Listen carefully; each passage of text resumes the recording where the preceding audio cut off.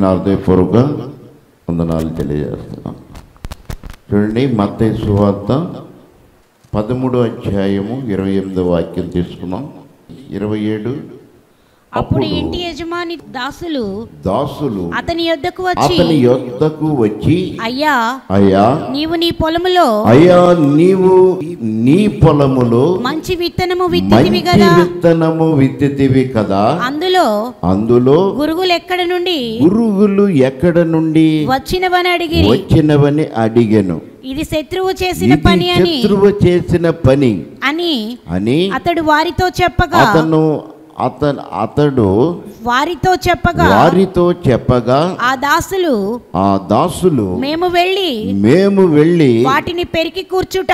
వాటిని పెరిగి కూర్చుట కూర్చుట నీకిష్టమా? నీకిష్టమా అని అని అతనిని అడిగిరి. అతనిని అడిగిరి. అందుకతడు అందుకతడు వద్దు.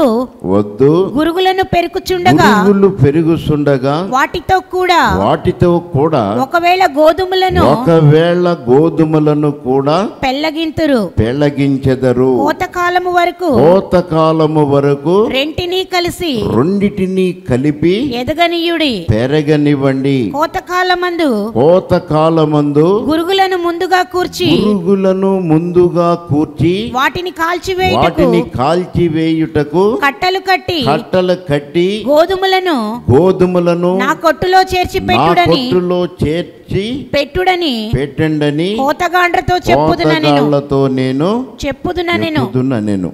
అక్కడ తన దాసులు వచ్చి అయ్యా నీవు పొలమును ఎంతగానో శుద్ధి చేశావు పరిశుద్ధపరిచావు. పరిశుద్ధమైన విత్తనాన్ని నీవు పొలములో ఎత్తి ఉన్నావు. కానీ ఆ పరిశుద్ధమైన ఆ పొలములో విత్తనము విత్తినప్పుడు అక్కడ ఎంతో శుద్ధినిగా ఆ పొలాన్ని ఎంతో శుద్ధి చేశావు. కనుక అక్కడ ఏ చెడ్డ విత్తనము మొలుస్తానికి వీల్లేదు. కానీ గురుగులు ఎలా మొలిచినాయి మీరు శుద్ధి చేసి ఎంతో బాగు చేసి దానిలో ఏ విత్తనము మొలవకుండా మీరు శుభ్రముగా చేసిన ఆ పొలములో మీరు ఆ పొలములో విత్తిన విత్తనం పక్కన గురుగులు ఎలాగూ వచ్చినాయి అని ఆ దాసులు ఏం చేశారు చెప్పండి? యజమాను దగ్గరకు తీసుకుని వెళ్ళారు. యజమాను అంటున్నాడు ఆయన ఏమంటున్నాడు చెప్పండి? మీరు ఇది శత్రువు చేసిన పని. కనుక మీరు వాటిని ఏమీ చేయవద్దు.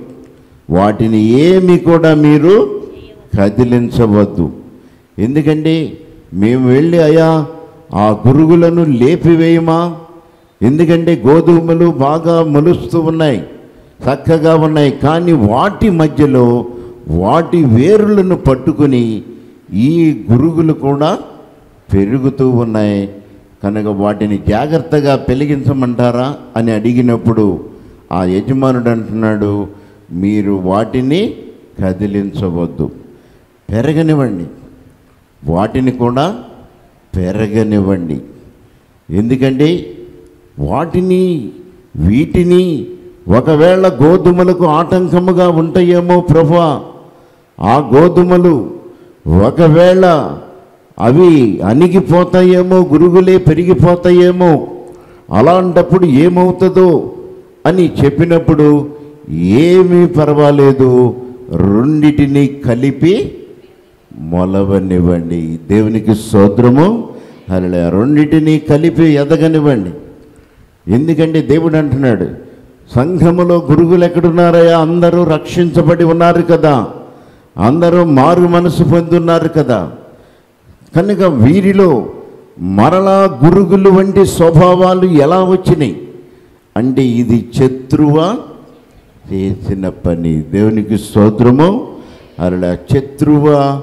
వారిలో దేవుడు ఏం చేస్తున్నాడు చెప్పండి? సంఘములో కొన్ని గురుగులను ఏర్పరుచుకున్నాడు. కనుక ఎదగనివ్వండి. రెండిటిని ఎదగనివ్వండి. కనుక ప్రభు ఒకవేళ నీ రాజ్యమునకు ఆటంకముగా ఈరు తయారవుతారేమో ఈ గోధుమలను కూడా చెడగొడతారేమో ఈ పరిశుద్ధులను వారు చెడగొడతారేమో అని ఆయన దాసులు చెబుతూ ఉంటే ఏమీ పర్వాలేదు. ఎందుకంటే ఎవరి నీతిని బట్టి వారే కాపాడబడతారు. కనుక మీరేం భయపడవసరం లేదు ఎందుకంటే సంఘములో ఈ లోకములో పొలములో ఏ రీతిగా అక్కడ కలుపు ఉంటుందో అలాగే సంఘములో కూడా కొన్ని గురుగులు ఉంటాయి భయపడనవసరం లేదు యుగ సమాప్తి జరిగే ముందు వాటిని ఏం చేస్తాను చెప్పండి? నలభై ఒకటి వచ్చినాను చూడండి. అక్కడ దేవుడు మాట్లాడుతున్నాడు. అదే మనిషి కుమారుడు. మనిషి కుమారుడు తన దూతలను పంపును. తన దూతలను పంపును. వారాయన రాజ్యములో నుండి. వా- ఆయన వారాయన రాజ్యములో నుండి వారు ఆయన రాజ్యములో నుండి ఆటంకములకు ఆటంకములకు సకలమైన వాటిని సకలమైన వాటిని దుర్నీతి పరులను దుర్నీతి పరులను సమకూర్చి సమకూర్చి అగ్నిగుండములో పడవేయుదురు అగ్నిగుండములో వారు పడవేయుదురు పడవేస్తారు. మనిషి కుమారుడు తన దూతలను పంపును. వారు ఆయన రాజ్యములో నుండి ఆటంకములకు సకలమైన వాటిని దుర్నీతి పరులను సమకూర్చి ఏం చేస్తారు చెప్పండి? దుర్నీతి పరులను సమకూర్చి అగ్నిగుండములో పడవేస్తాడు. సకల ఆటంకాలు కలగజేస్తారేమోనయ్యా. నీ సంఘములో సంఘం పరిశుద్ధంగా అనేకులు పరిశుద్ధులుగా ఉన్నారయ్యా. ఈ సంఘములో గురుగులు తయారైనవి అని బాధపడుతున్నారు. శిష్యులు ఏం పర్వాలేదు వాటిని అన్నిటినీ కలిపి అన్నిటిని ఏమన్నారు చెప్పండి? ఎదగనివ్వండి. దేవునికి స్తోత్రము అలా గోధుమలతో పాటు గురుగులు కూడా పెరగనివ్వండి. కానీ వాటికి ఒక కాలం అనేది ఉన్నది. వాటికి ఒక తీర్పు అనేది ఉన్నది. కనుక దేవుడు అంటున్నాడు ఆ తీర్పు కాలము కొరకు వారు ఎందుకంటే మారు మనసు పొందుతారేమో ఒకవేళ ఆ సమయం వచ్చేటప్పటికి వారిలో ఎవరైనా మారు మనసు పొందుతారేమో. కనుక మంచి ఇత్తనముగా ఒకవేళ మారుతారేమో. కనుక పెరగనివ్వండి రెండిటిని. ఎందుకంటే దేవుని రాజ్యానికి ఆటంకముగా ఉంటారు అని మీరు అంటున్నారు. అనేకులను చెడగొడతారేమో ప్రభు కనుక ఈ గురుగులు అనేకులను అనేక మొక్కలను అనిసివేస్తాయేమో ప్రభు అని అంటే ఏం పర్వాలేదు రెండింటిని కలిపి ఎదగనివ్వండి. దేవునికి సోదరము అలా కనుక దేవుడు అంటున్నాడు ఆయన అన్ని విషయాలలో కూడా ఆ గురుగులకు కూడా ఒక అవకాశాన్ని ఇస్తున్నాడు. కానీ శిష్యులైతే భయపడుతున్నారు. ఎందుకంటే వారు ఎలాంటి వారో తెలియదు ప్రభు నీకంటే ఏం పర్వాలేదు అందరి విషయం నాకు బాగా తెలుసు అంటున్నాడు. కనుక దేవుడు అన్ని విషయాలలో ఈ లోకములో ఎందుకంటే లోకములో ఏ రీతిగా మంచివారు ఉంటారు అలాగే అవినీతి పరులు ఉంటారు మంచివారు ఉంటారు అవినీతి పరులు ఉంటారు కానీ దేవుడు ఏసేపును ఏం చేశారు చెప్పండి? తన అన్నదమ్ముల మధ్యలో ఏసేపు మంచి ప్రవర్తన కలిగిన వాడు చెడుతనమును విసర్జించిన వాడు కనుక దేవుడు ఏం చేశాడు చెప్పండి? ఏసేపును దేవుడు ఏర్పాటు చేసుకున్నాడు. ఏసేపును దేవుడు ఏర్పాటు చేసుకున్నప్పుడు ఏసేపు విషయంలో అన్నదమ్ములు అందరూ కూడా కలవరపడుతున్నారు. ఎందుకంటే ఇతను మన విషయాలన్నీ చెబుతున్నాడు. తండ్రికి తెలియపరుస్తున్నాడు. మన మనము చేసిన ప్రతి మాట తెలియపరుస్తున్నాడు. కనుక మరి ఏసేపు విషయంలో దేవుడు దేవుడు అంటున్నాడు వాళ్ళందరూ నీకు సాగిలపడతారు. ఇది నమ్ము అని ఏసేపుతో దేవుడు మాట్లాడుతున్నారు. అలాగే నిన్ను ఎవరైతే అభ్యంతరపరుస్తున్నారో నిన్ను ఎవరైతే బాధ పెడుతున్నారో నిన్నెవరైతే ఆటంకపరుస్తున్నారో వాళ్ళందరూ ఒక రోజు నీకు సాగిలా పడతారు అని దేవుడు మాట్లాడుతున్నాడు. కానీ ఏసేపు ఏమంటున్నాడు చెప్పండి? దేవుణ్ణి బట్టి ఆ దేవుడు నాకు ఇలా చేయబోతున్నాడు అని చెప్పి వాళ్ళకే తెలియపరుస్తున్నాడు. వాళ్ళు ఇంకా మరింత పగను పెంచుకుంటున్నారు. ఏసేపు ఏం చేశారు చెప్పండి? లాస్ట్కు ఐగుప్తు దేశానికి అమ్మి వేశారు. కానీ దేవుడు తప్పించాడు. ఐగుప్తు దేశానికి రాజుగా చేశాడు. రా ఈగుప్తు దేశంలో అతన్ని గొప్ప రాజుగా చేసినప్పుడు అన్నదమ్ములు అందరూ కూడా ఆ దర్శన ప్రకారముగా ఏం చేశారు చెప్పండి? ఏసేపు పాదాల మీద సాగిలపడ్డారు. దేవునికి సోద్రము అని కనుక దేవుడు అంటున్నాడు అలాగే మంచి వారి మధ్యలో చెడ్డవారు కూడా ఉంటారు. కనుక రెండిటినీ కలిపి ఆయన అంటున్నాడు ఎదగనివ్వండి. ఏం పర్వాలేదు. కనుక మంచివారు మంచివారిని మంచివారిగానే ఉంటారు. కనుక చెడ్డవారు ఏం చేస్తారు చెప్పండి? అనేక విషయాలలో బలహీనులైన వారు. వారు మాత్రము తప్పకుండా అభ్యంతరపడతారు. అనే విషయాన్ని దేవుడు అక్కడ తెలియపరుస్తున్నారు. కనుకనే ఒకటో సమయాలు చూడండి ఒకటో అధ్యాయం మూడో వచనాన్ని చూడండి ఒకటో సమయాలు మూడో అధ్యాయం మూడో వాక్యం చూడండి. దీపము ఆరిపోక మునుపు ఆ దీపము ఆరిపోక మునుపు సమయలు సమయలు దేవుని మందసమున్న దేవుని యొక్క మందసమున్న మందసమున యహోవా మందిరములో యహోవా మందిరములో పండుకొని ఉండగాను మా పండుకొని ఉండగాను పండుకొని ఉండగా యహోవా సమయలను పిలిచెను. యహోవా సమూయేలును పిలిచెను. పిలిచి ఉన్నాడు.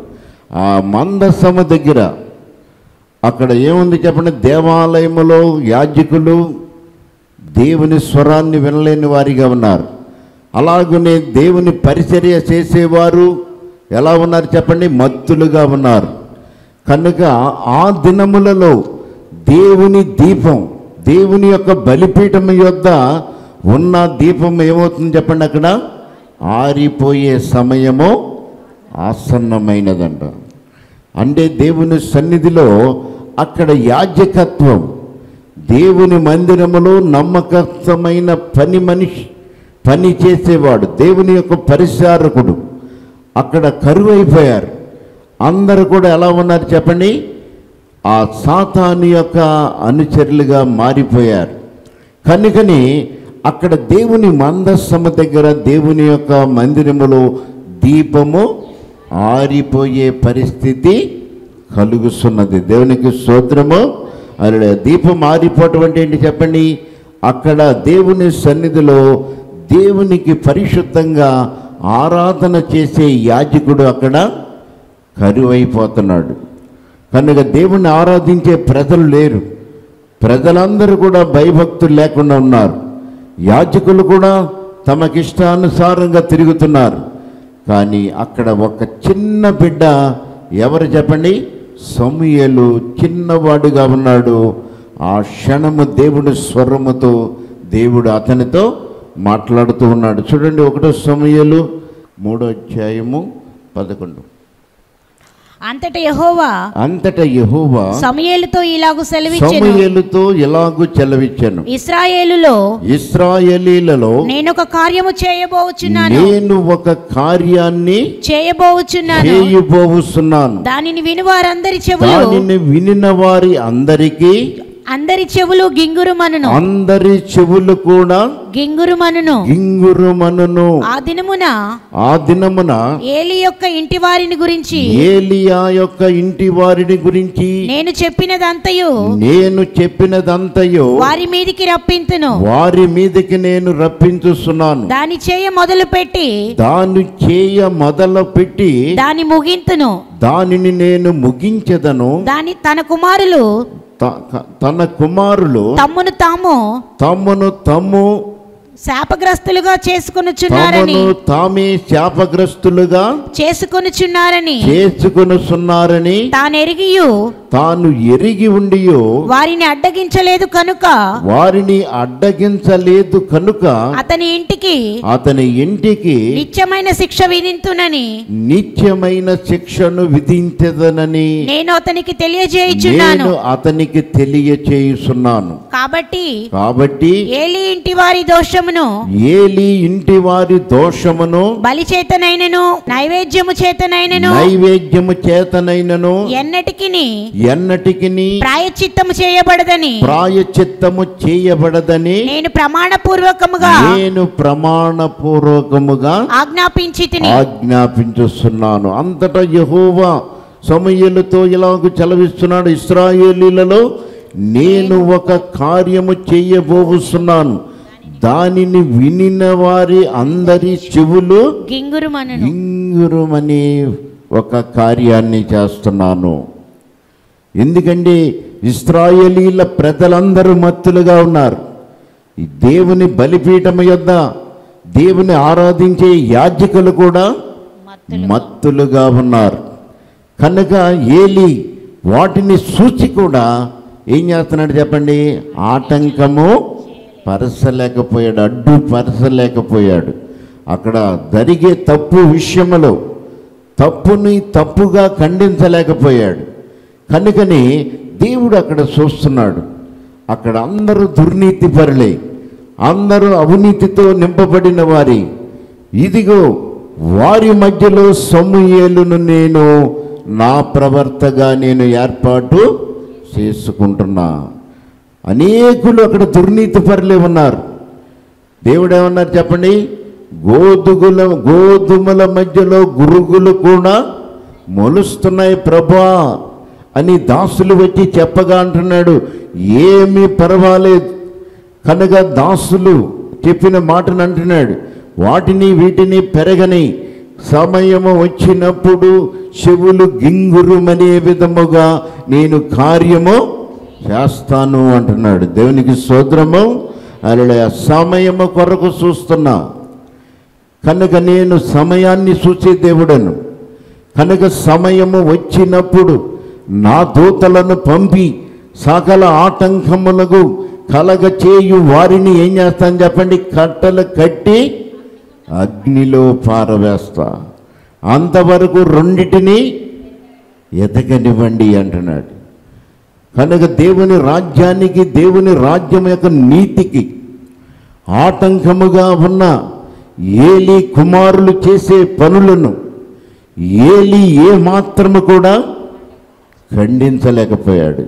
చిన్న బాలుడైన సొమియలు అక్కడ వాళ్ళ మధ్యలోనే పెరుగుతూ ఉన్నాడు. చిన్న బాలుడైన సమయలు గారు వారి మధ్యలోనే పెరుగుతున్నాడు. కానీ దేవుని స్వరాన్ని వినే శక్తివంతుడిగా ఉన్నాడు. అక్కడ వారి ఆలోచనలు ఏం పట్టించుకోవట్లా ఎందుకంటే అక్కడ అందరూ కూడా దేవుని సన్నిధిలో అక్కడ ఆటంకములుగానే పెరుగుతున్నారు. అక్కడ దుర్నీతి పరులు కానీ అక్కడ పిల్లలు పెద్దలు అందరూ కూడా ఒకే రీతిగా ఉన్నారు. కానీ సమయలు గారు మాత్రం దేవునికి సమర్పణైన వ్యక్తిగా ఉన్నాడు కనుక దేవుని రాజ్యం యొక్క నీతిని వెతకుతూ ఉన్నాడు.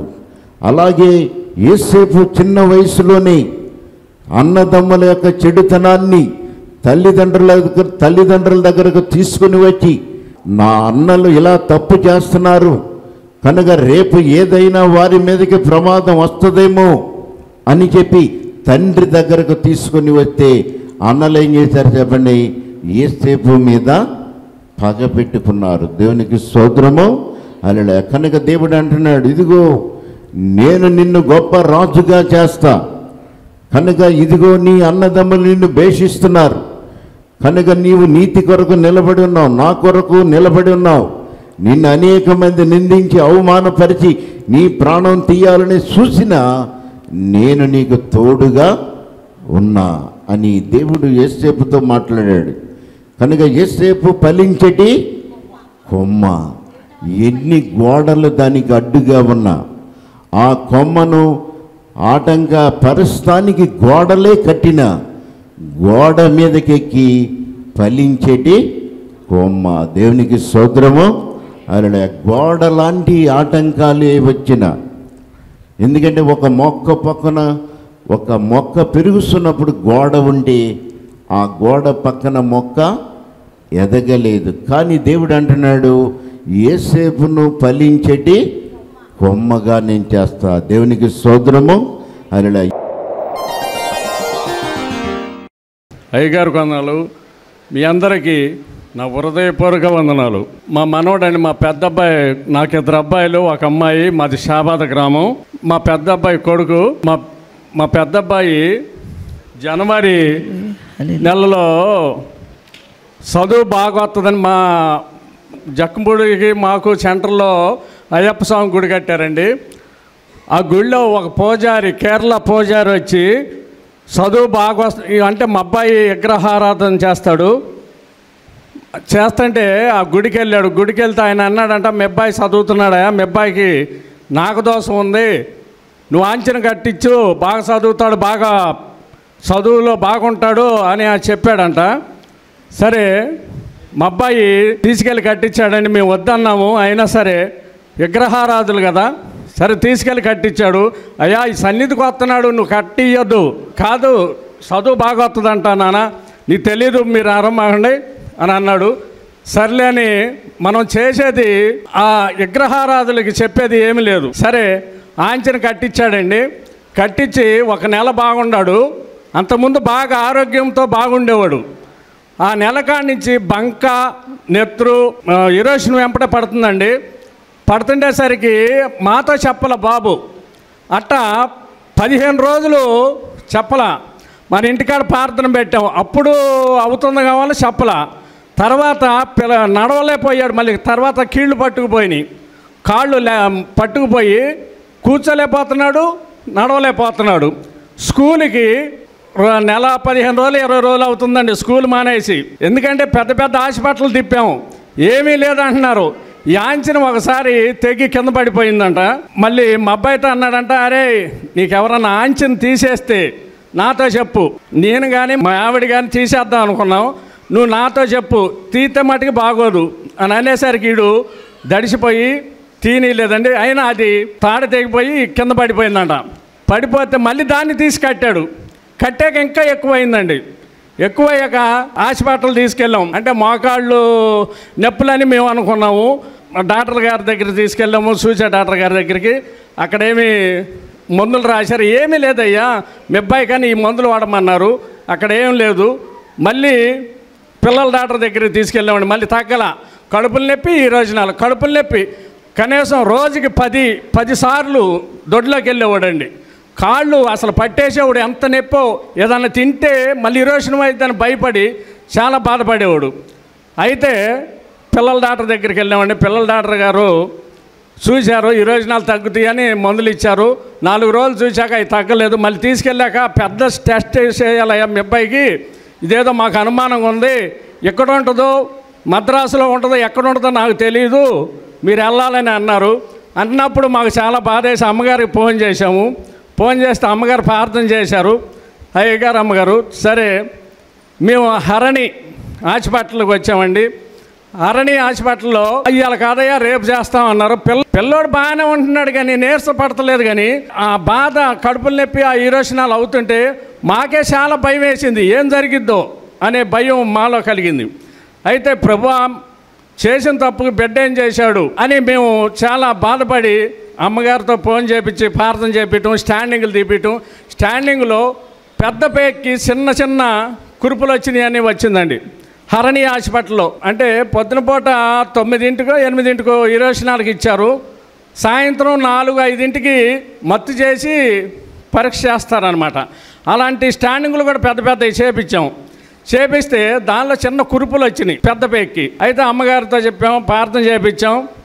మావోడు అప్పుడు ఈ బాబును చూసి చాలా బాధపడి తన చేత్తో తనే ఆంచని తీసేసి పారేశాడండి. తర్వాత దేవుడు అప్పుడు మాకు చాలా బాధేసి అయ్యా ఇంత నమ్ముకోయా దేవుడిని నమ్ముకో నువ్వంటే నమ్ముకుంటా నానా అన్నాడు కానీ మా అబ్బాయి కూడా మారాలని మా మనవడికి ఇప్పుడు ఏం లేదండి శుభ్రంగా తగ్గిపోయింది. కాకపోతే కొంచెం నడవాలి అంటే మందులు కొద్దిగా వాడాలన్నారు. అయినా ఇది దేవుడు గొప్పతనం. దేవుడు చేసిన గొప్ప ఇది. మా వాళ్ళగా ఎవరు కాదు. అమ్మగారు అయ్యగారు బలం ఈ మందిరం యొక్క బలం ఈ సన్నిధిలో ఎవరు ఎట్టి యాదికస్తుడైనా స్వస్థపడతాడు. అట్లాగే మాకు రెండు వేల పన్నెండు కాడి నుంచి మా పెద్ద కోళ్ళ కేసులు పెట్టిందండి మా మీద. ఆ కేసులు కూడా మన మూడో తారీఖుతో ఏ కేసు లేదండి. అన్ని కొట్టేశాడు. దేవుడికి సూత్రం ఈ గొప్ప సాక్ష్యం దేవుడు దీవించునుగా